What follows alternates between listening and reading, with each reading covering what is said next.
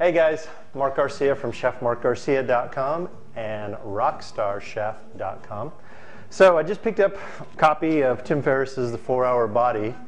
Uh, New York Times bestseller just came out here second week in December. Great stuff. I've been a big fan of Tim's for a while. We're jamming to the Gypsy Kings here. We're going to turn them down a little bit. Anyways, I've been a big fan of Tim's work for quite a while.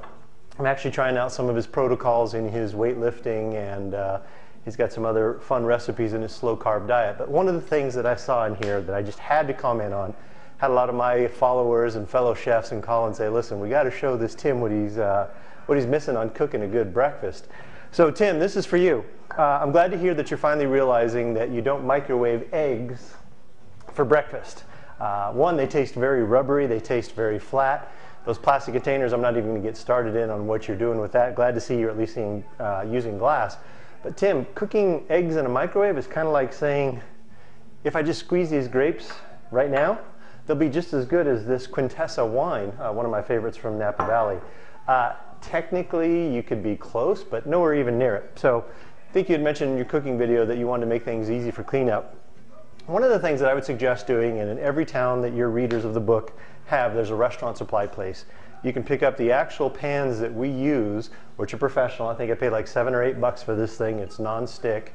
Uh, very cheap, very inexpensive, and it's going to be much heavier quality than anything you're going to find in one of those Bed Bath & Beyond stores. I take nothing away from them, but uh, for the most part, they're selling an inferior, thinner quality product for about two, three times much. Okay, so to the omelet you made, which I love doing every morning, and uh, we actually just started the slow carb program this week. No tortillas, that's killing me as a Texas boy. But one of the things uh, you mentioned about using the whole eggs, whole organic brown eggs, I love using those. We also have, uh, I made up a little bit of pico de gallo here. That's basically onions, tomatoes, jalapenos, a little bit of cilantro, a little bit of lime juice. You can buy this store-bought. I know in your video you had a salsa from the uh, unnamed grocery store. Clearly fresh. Us chefs are all about fresh. Jalapenos, I like adding a little bit of mine in there. I love doing some avocados as well. I've got some different seasonings. Now, you mentioned doing a little bit of whole butter. I'm very very, very partial to Plugra. I've been using it most of my professional career. One of the favorite ones I love. Kerrygold, you mentioned, is good as well. I also don't mind using olive oil. And, and I got to tell you, I use a nice uh, virgin olive oil. Costco, they got the best deal in town. You can buy two quarts of an extra virgin or virgin olive oil for about 15 bucks. Uh, great deal on it. It's, it's pretty amazing. I use it for salad dressings, use it for a little bit of everything. So actually, in today for the omelets, I'm going to use a little bit of butter and olive oil. More just for flavor.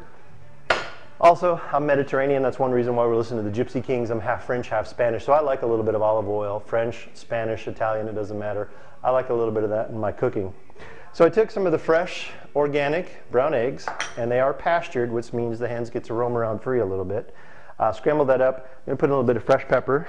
Again, you can buy these uh, fairly inexpensively in any kitchen supply place. I'm also going to put in some, uh, there's a new seasoning company I'm working with here in town. I'm putting in some chipotle and some Hatch green chili garlic salt. Again, just to give it a little bit more flavor. Got some of the beans that you recommend. Uh, I'm going to chop up some of the avocado here in just a little bit. Pan's nice and hot.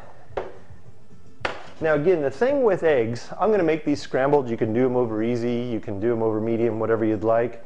The trick of doing these at home is you don't want a smoking hot pan. Now when we're making omelets professionally in the kitchens, you know, Sunday brunch or in a breakfast place at a high busy restaurant, we'll usually have these pans smoking, smoking hot.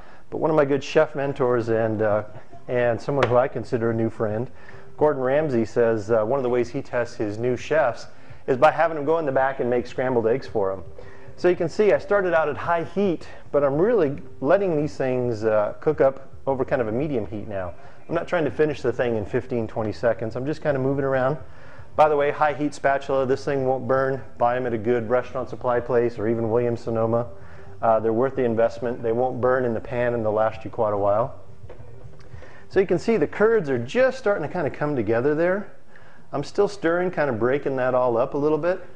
The reason I'm doing this is I want to gently cook those eggs. I don't want them to become rubbery, much as what happens in the microwave. Uh, as much as we sometimes use the microwaves in professional kitchens, it's really kind of a quick, uh, you know, we're maybe doing something with veggies, trying to heat up something real fast. But for something as nutritious and fun and delicate and pleasurable as scrambled eggs, um, I wouldn't use a microwave. Again, go back to my wine analogy that I'm doing. Okay, everybody likes their eggs done different ways. Some like them super, super dry. Uh, my daughter tends to be one of those ones that likes them super, super dry. I kind of like putting in a little bit of the curds in here. And you can see I pulled this off the heat. You can see how fast that was. I'm just moving that around. Now at this point, you could add in cheese. Uh, we're not going to in this recipe because I'm in the first phase of the slow carb meal plan. Shut my burner off. And those are still going. I'm going to put in some of the beans. Here I've got the red kidney beans. You recommend canned. I actually made my own. Uh, here in Texas in the Southwest, we're pretty used to making beans, so it's not something we have a problem with. Soak them overnight, cook them over medium-high heat the next day. I'm going to put in a little bit of that pico de gallo that I made up earlier. Now again, at this step, you could put in some cheese, uh, whether that be a nice cheddar, a great Mexican, cotija would be great in here, uh, even a Greek feta. Greek feta gives it a nice one, and I know that on the first initial phases of the slow carb plan, you typically try and stay away from dairy, but you know, a half teaspoon in the morning is going to go a long way. All right, so Tim, cleanup. I'm actually going to put this right on a plate. My pan, since it's non-stick, I'm simply going to wipe out real quick under some warm water. That's the only dish that I've uh, used. Obviously for the video, I've got some showcase things here, but I wanted you to show how quick and easy it is to make eggs on the stovetop. Take your time with them, don't be in a hurry. Uh, the microwave, not so good for eggs, and very easy and simple to clean up. Guys, again, I'm Chef Mark Garcia, chefmarkgarcia.com and Rockstar Chef, and I'll see you on the next recipe in the kitchen. Take care.